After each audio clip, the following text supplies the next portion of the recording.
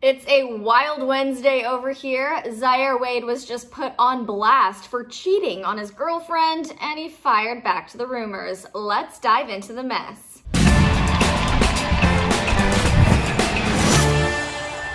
What's up, you guys? It's Devin Howard. If you're not following me on Instagram, you should do that now. I'm there as at Devin Howard. Subscribe to our channel, tap the bell for notifications, and give this video a thumbs up. Now, before you all come at me in the comments for doing this story, I would just like to remind you all that you clicked on this video, so you obviously kind of want to know the drama. Now let's get into it. So Zaire has been in a long-term relationship with a girl named Janelle. They tend to keep their relationship relatively on the down low, though there are photos of them together looking lovey-dovey. But yesterday, another girl named Jasmine Chanel decided to put Zaire on blast by posting a TikTok video that claims Zaire Zaire cheated on his girlfriend with her. In the TikTok video she posted, she shares a bunch of photos of her and Zaire in very intimate seeming positions. Take a look at it.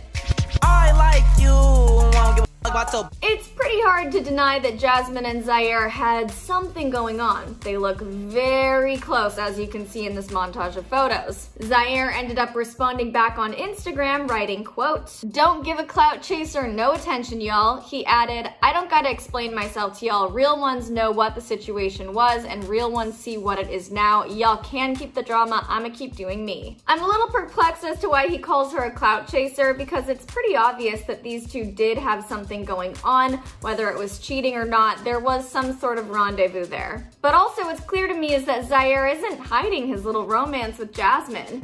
So I guess he and his girlfriend went on a break for a bit and he started dating Jasmine or he came clean about cheating and has nothing to hide. Either way, the TikTok was definitely messy, but Zaire is trying to prove that he's unfazed by it. What do you guys think was going on? What do you think about that TikTok video? Let me know in the comments below. Don't forget to subscribe and tap the bell. I'm Devin Howard for The Fumble and I'll see you later.